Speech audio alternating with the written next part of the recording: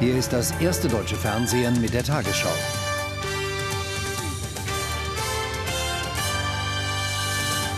Guten Abend, meine Damen und Herren, ich begrüße Sie zur Tagesschau. Beim EU-Gipfel in Brüssel haben sich Italien und Spanien durchgesetzt. Sie kommen nun leichter an Hilfsgelder. Und angeschlagene Banken sollen bald direkt Geld aus dem Rettungsschirm erhalten. Dafür muss zuvor noch eine europaweite Bankenaufsicht eingerichtet werden.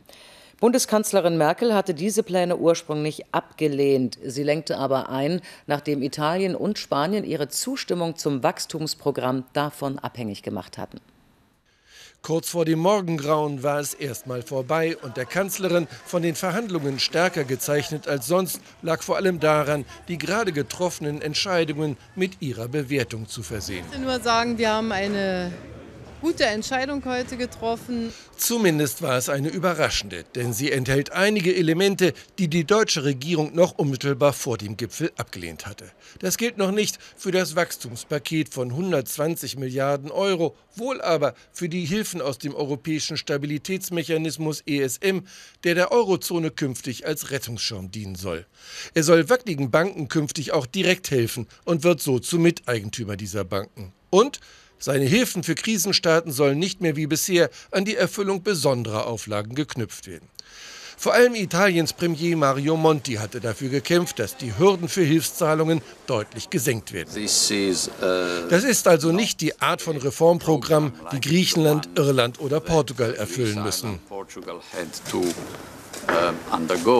Stattdessen gelten nur noch Pflichten, die in den Bestimmungen für die Eurozone oder in Empfehlungen der Kommission ohnehin enthalten sind. Die Kanzlerin zufrieden. Und insofern glaube ich, haben wir etwas Wichtiges getan, aber sind unserer Philosophie keine Leistung ohne Gegenleistung auch treu geblieben. Im Prinzip ja, aber die Kanzlerin hat hier Positionen geräumt, die noch vor kurzem in Berlin als äußerst wichtig bezeichnet wurden. Unter dem Strich bleibt, dass der Zugang zum Geld des ESM deutlich leichter geworden ist. Das muss nicht dazu führen, dass der Reformeifer in den Krisenstaaten nachlässt und dass die Hilfsmöglichkeiten des ESM schneller ausgeschöpft werden, aber es ist wahrscheinlicher geworden. Bundeskanzlerin Merkel hat nach ihrer Rückkehr aus Brüssel erneut eine Regierungserklärung im Bundestag abgegeben. Die Kanzlerin warb eindringlich für den Europäischen Fiskalpakt und den dauerhaften Rettungsschirm ESM. Mit einem Ja liefere das Parlament ein Signal der Geschlossenheit nach innen und nach außen. Die Kanzlerin verteidigte auch die Beschlüsse des EU-Gipfels. Kritiker hatten deshalb zwischenzeitlich versucht, die Abstimmungen in Bundestag und Bundesrat am Abend zu verschieben. Ein Antrag der Linken dazu wurde aber aber abgelehnt. Jetzt kommt es darauf an. Als Angela Merkel um 17.29 Uhr den Plenarsaal betritt, weiß sie, dass sie die Abgeordneten überzeugen muss, auch die in den eigenen Reihen. Denn die Kanzlerin hat in Brüssel nachgegeben und Kompromisse gemacht, die gestern noch undenkbar waren. Deswegen wirbt sie heute eindringlich um Zustimmung zu ESM und Fiskalpakt. Und sie macht klar, dass die gestrigen Brüsseler Beschlüsse darin noch nicht enthalten sind, sondern dass dafür demnächst neue Abstimmungen erforderlich seien. Was wir heute beschließen, ist ein wichtiger Schritt, um der Welt deutlich zu machen, wir stehen zum Euro, wir wollen ihn als unsere stabile Währung. Wir glauben, dass wir mit ihm besser wirtschaften können, besser in Wohlstand leben können. Und deshalb werbe ich um Ihre aller Zustimmung. Die Opposition lobt die Kanzlerin zunächst ungewöhnlicherweise und unterstützt ESM und Fiskalpakt. Dafür hatte sie Merkel ein Wachstumspaket und die Börsensteuer abgehandelt. Dennoch sieht sie Merkels Europapolitik insgesamt kritisch, zu zögerlich, zu spät. Steigende Schulden, steigende Arbeitslosigkeit, vor allem unter Jugendlichen und auch erste negative Auswirkungen in der deutschen Volkswirtschaft.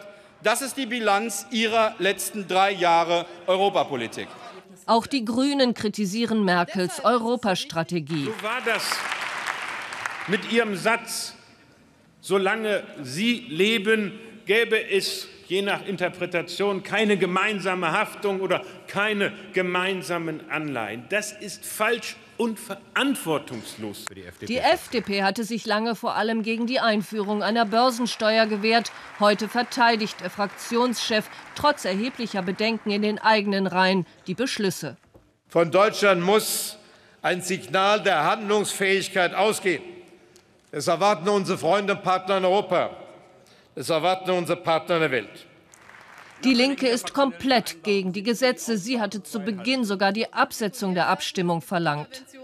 Wenn Sie die öffentliche Schuldenexplosion eindämmen wollen, dann müssen Sie endlich aufhören, weitere Milliarden auf Pump in den Finanzsektor zu schleusen. Aber das haben Sie ja überhaupt nicht vor.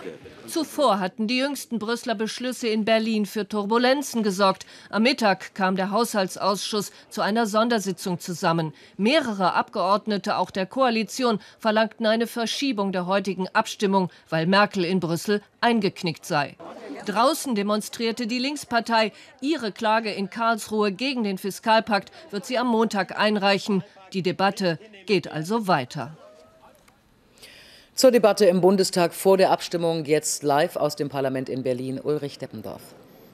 Ja, und die Debatte läuft noch. Erst dann am späten Abend geht es dann in den Bundesrat. Selten war ein Tag im Bundestag so hektisch und so von zunächst großer Unsicherheit über die von der Bundeskanzlerin in Brüssel gemachten Zugeständnisse geprägt wie heute. Nur mit großer Mühe und einer eindringlichen Rede konnte Angela Merkel ihre Regierungsfraktionen auf Kurs halten. Am Ende wird es heute mit den Stimmen der SPD und der Grünen wohl doch eine Zweidrittelmehrheit für die Verabschiedung des Fiskalpaktes und des ESM-Rettungsschirms geben. Für die SPD und die Grünen ist der ebenfalls beschlossene Wachstumspakt und die Einführung einer Finanztransaktionssteuer zu wichtig, um der Bundesregierung eine Niederlage zuzufügen. Doch die Abgeordneten stimmen im Fall des ESM über eine Gesetzesvorlage ab, die nach den Beschlüssen von Brüssel schon wieder überholt ist. Das bedrückt viele und andere Abgeordnete der schwarz-gelben Koalition fürchten, dass am Ende doch eine Vergemeinschaftung der Schulden steht. Schon jetzt ist klar, in ein paar Monaten wird erneut über den gestern in Brüssel neu verhandelten ESM-Vertrag im Bundestag abgestimmt werden. Und damit zurück zu Susanne Daubner. Analysen und Einschätzungen zu den EU-Gipfelbeschlüssen finden Sie auch unter tagesschau.de, darunter ein Interview zu der Frage, ob die Hilfszusagen ein Freibrief für Banken sind. Die WestLB war einst die mächtigste Landesbank Deutschlands. Dann begab sich das Geldhaus mit Fehlspekulationen auf dünnes Eis und häufte beim Handel mit Hochrisikopapieren hohe Schulden an. Schon 2008 stand die WestLB vor dem Aus. Nur Milliardenhilfen und die Gründung der ersten deutschen Bad Bank konnten das Institut vorübergehend retten. Jetzt wird die WestLB auf Druck der EU endgültig zerschlagen. Fast hilflos wirkt diese Geste gegen die Zukunft sorgen. Die Mitarbeiter lassen Wünsche für die Zeit nach der WestLB steigen. Das Logo ist schon weg, die Bank wird am Wochenende endgültig zerschlagen. Ab Montag gibt es dann das Nachfolgeunternehmen Portigon. Experten sehen den Grund fürs Scheitern in den Verlusten der Finanzkrise, aber auch in der Nähe zur Politik. Landesbanken sind so groß geworden, nicht weil sie so gut waren, sondern weil sie über Jahrzehnte von einer staatlichen Garantie profitieren konnten, damit Wettbewerbsvorteile hatten. Aber diese Landesbanken wurden eben nicht nach betriebswirtschaftlichen Gesichtspunkten geführt, sondern nach politischen Gesichtspunkten. Die Fehlspekulationen der Bank und ihre Abwicklung sollen nach Schätzungen bis 2027 insgesamt 18 Milliarden Euro kosten. Davon tragen das Land NRW und der Bund 12 Milliarden, die Sparkassen 6 Milliarden Euro. Zerschlagen wird die WestLB in drei Teile. Das Sparkassengeschäft geht an die Landesbank Hessen-Thüringen, die Schrottpapiere in die Bad Bank, der Rest ist die Portigon AG, die nur noch Banken beraten soll.